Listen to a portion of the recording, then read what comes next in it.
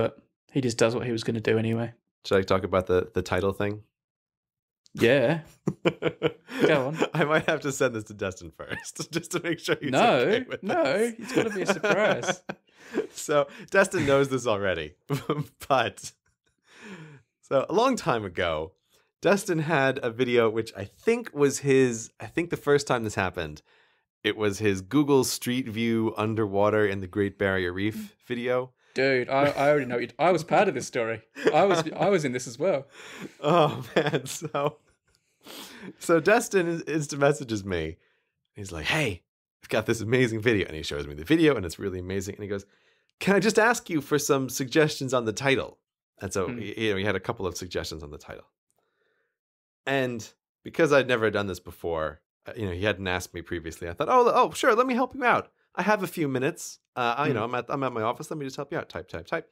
Oh, you know, should should it be Great Barrier Reef first? Should it be Google Street View? Should it be underwater? Title selection does matter, and and you can spend a lot of time trying to figure out the optimal title. Well, Hmm. little did I know that I was getting sucked into a four-hour conversation Oh yeah. about the titles.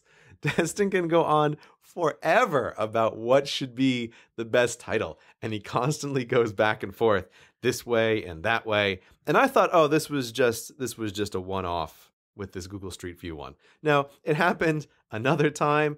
And there was one other time where uh, he was asking me about the titles, and eventually uh, we got his wife involved. And his wife, I have to say, did agree with me on the suggested title. Destin went another way. Obviously, the video would have been a lot more successful if he had agreed with me and his wife. How could you oppose that pair? But somehow he did.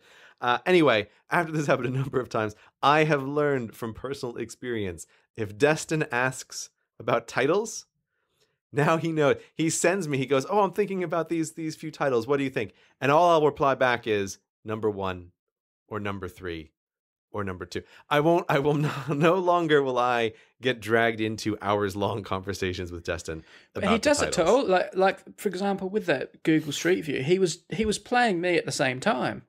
But the weird thing is, it then becomes competitive because he's telling me, "Oh, Grey likes this one," and I'm like, "Well, are you going to have to follow Grey's advice or my advice?" And then he put it up, and it had like your title on it, and I was like, "Oh."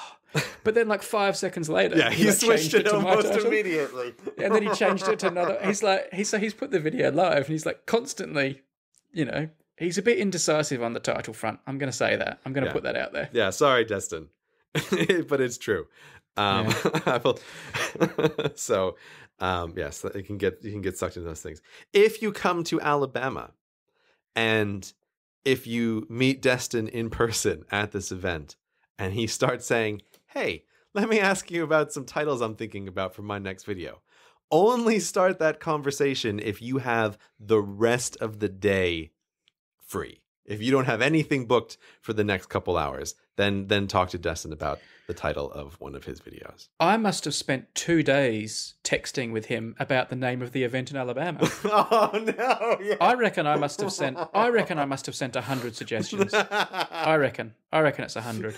And he sent. He must have sent me a hundred of his. We were just like it was just pinging all night. Like, what about this? What about this?